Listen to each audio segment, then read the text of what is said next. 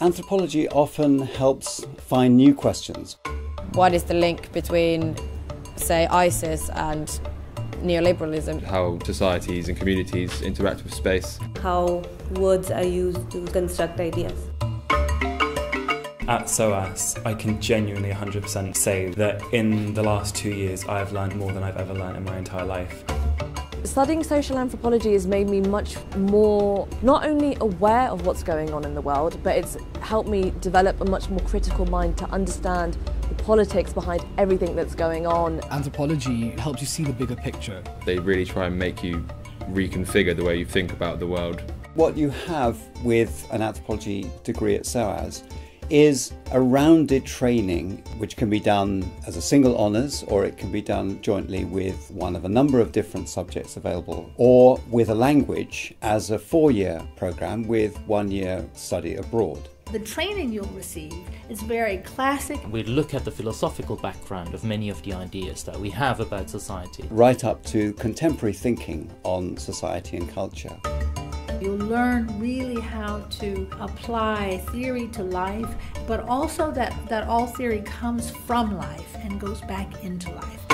Every undergraduate has an opportunity to pull these strands together theory, region, uh, thematic interests, and their, their methods into an independent study project. Which also includes fieldwork. It is generally doing the work that you would be doing afterwards as well, which is really interesting.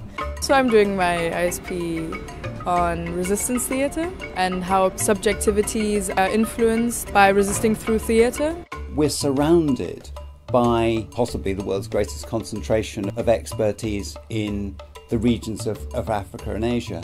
And that, of course, includes people with profound and deep knowledge of the languages and literatures and cultures and history, but also the legal systems, the art, uh, the architecture, the music.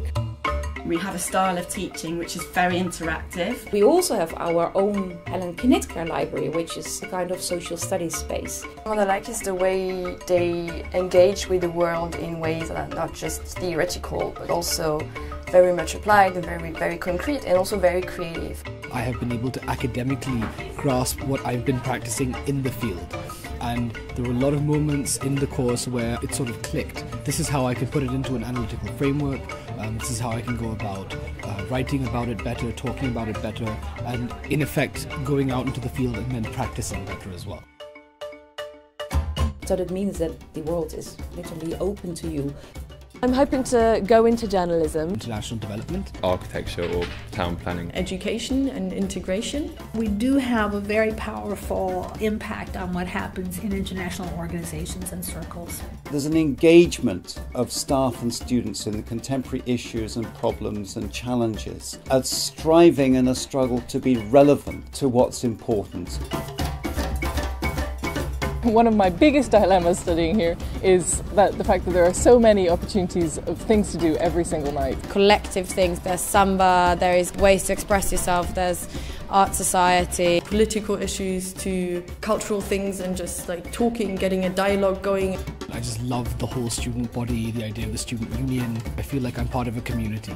I genuinely think if you took the globe and tried to reduce it to a village, you would have SOAS.